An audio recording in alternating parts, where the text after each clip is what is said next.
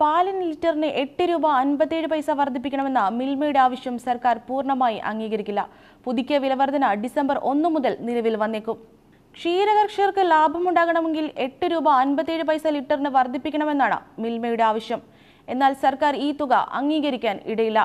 അഞ്ചു രൂപയ്ക്കും ആറ് രൂപയ്ക്കും ഇടയിലാവും വിലവർധന. ഇക്കാര്യത്തിൽ ക്ഷീരവികസന വകുപ്പ് മന്ത്രിയുമായി ചർച്ച നടത്തും. അടുത്ത ദിവസങ്ങൾ തന്നെ നടക്കുന്ന ചർച്ചയിൽ പുതുക്കിയ വില സംബന്ധിച്ച് തീരുമാനമുണ്ടാകും. മിൽമയുടെ ആവശ്യം അപ്പാടെ അംഗീകരിക്കാതെ തന്നെ ക്ഷീരകർഷകരെ ഒപ്പം കൂട്ടാനാണ് സർക്കാർ ശ്രമം. മുടങ്ങിക്കിടക്കുന്ന സബ്സിഡി നൽകുന്നതോടെ ക്ഷീരകർഷകരുടെ പ്രതിസന്ധി പരിഹരിക്കപ്പെടുമെന്നാണ് വിലയിരുത്തൽ. ലിറ്ററിന് നാല് രൂപ സബ്സിഡി നൽകും. നേരത്തെ നൽകി വന്നിരുന്ന സബ്സിഡി മാസങ്ങളായി മുടങ്ങിക്കിടക്കുകയായിരുന്നു. ഡിസംബർ ആദ്യം തന്നെ മുടങ്ങിക്കിടന്നതുൾപ്പെടെയുള്ള സബ്സിഡി നൽകാനാണ് ലക്ഷ്യം. എന്നാൽ വിലവർദ്ധനയിൽ മിൽമയും വിട്ടുവീഴ്ചയ്ക്ക് തയ്യാറല്ല.